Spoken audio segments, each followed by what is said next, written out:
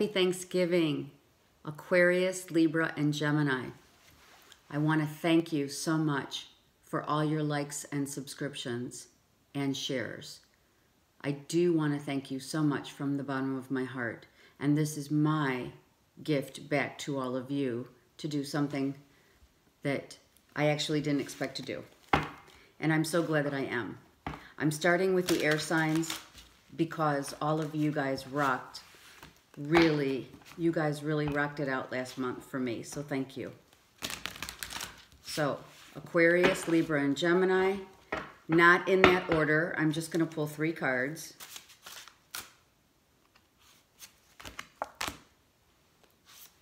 Okay.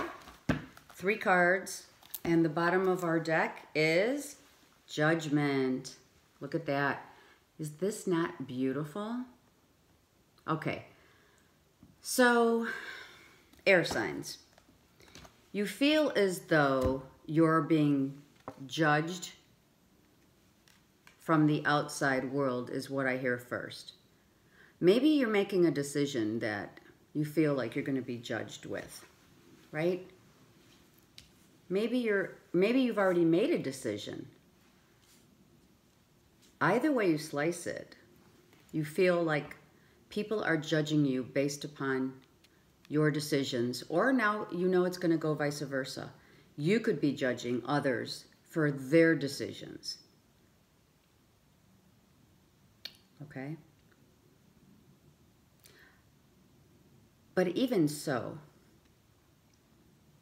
when most of us know, I should say, when you are judging someone, let's just say, when we judge someone, you know that comes back to us.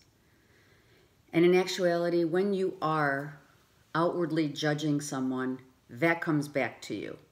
It's just, that's a mere reflection of you're judging yourself, basically, if that makes sense. Because when we project ourselves onto another, that's a form of judgment, which this card is speaking of. And again, vice versa. If someone is judging you, Gemini, Libra, and Aquarius, then it's just them judging themselves. Because our the people that are in our environment, friends, family, etc., are really a mere reflection of us. So when you are on the receiving end, that just means that they're judging themselves because there's something that they don't like within themselves. And if you're the one judging air signs, then know that what you're doing is judging yourself in some way, shape, or form. It could be an internal conflict, right? She's suspended in air, yet you can see, if you can see, the circle here, right? So karmic, karmically, things always come back to those who judge. All right, let me move on. Move, moving forward, we have the Page of Cups. We have the Six of Cups and the Five of Cups. So, what does this say? This says to me that one scenario is that some of us are being are very clear about a situation in our lives. Something gave us clarity and this clarity is from a previous relationship. So the judgment card makes sense. The circle meaning it's karmic.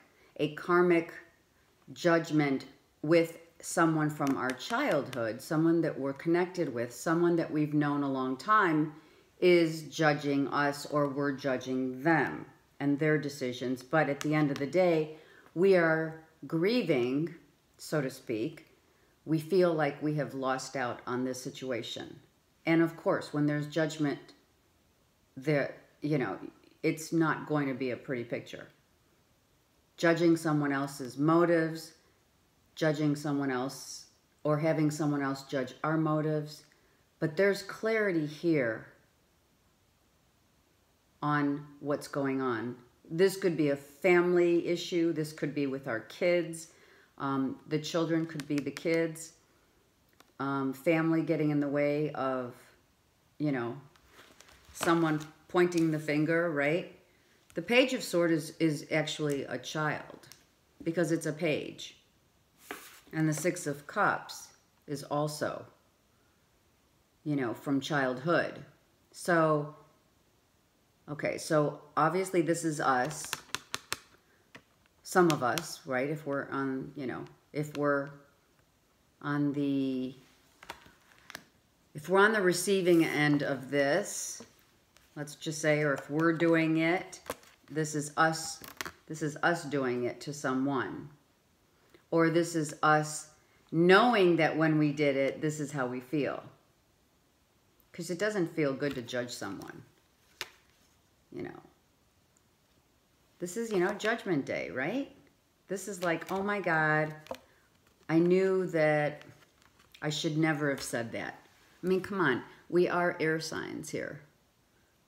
And we tend to use our words sometimes, at, uh, you know, without thinking. Gemini, Libra, and Aquarius. We can lash out. Could just be a simple fight with children or children judging us about something, but it seems to me like it's more the other way around, okay? And now we're regretting what we said. It's that simple, right? We're regretting it. Okay. So now I'm going to use the Ascended Masters cards and clarify, not really clarify, I'm not, I'm take that back, I digress. We're going to add some, let's add a layer to this and see what the Ascended Masters say. Four air signs. Okay, so the Ascended Masters are the, the you know, the in-depth of this judgment, right, with children or what have you, whatever's being said, is staying focused. Kuthumi says we need to stay focused and not go here. Even if we want to, even if there's a small fight that we want, there's just some argument that happens and we lash out to one of our kids or it's a young it's a young uh, it's a young child. I really feel that. That's what I feel. Teenager, young child, and being regretful. So Kuthumi is saying, stay focused in your in your thoughts so that you don't make the mistake of judging anyone because it does come back to you. Okay? Then we have Horus saying, we're seeing this clearly. This is accurate. This is actually what's happening. So on Thanksgiving, that is what might happen. A little fight may erupt with some of our kids. We need to stay focused not to do that. We're kind of getting a heads up right now not to do that, right? And let's purify our soul so that we don't feel like this. Okay? And I'm telling you right now, I am so glad I did this because I have I have a 15 year old going on 16. So let me tell you, I'm taking this advice to heart without question. And if it's not, it's just a little small quarrel. Someone's judging you for something that you said, and they're going to be reg regretting it without question. And, and don't take that personally. Stay focused, right? Don't take it personally. Stay focused. Okay, now I'm going to, for a special treat, give you all a Rumi card. I love these Rumi cards because usually this Rumi card I use every day. And I take one card out of this deck and it usually gives me my intention for the day. Okay? So the Rumi card that I have selected for the air signs, Libra, Aquarius, and Gemini, is Enter the Garden of Delights. Okay? Now, this is not a card in which we read like the other tarot cards. This is a special card that is only read.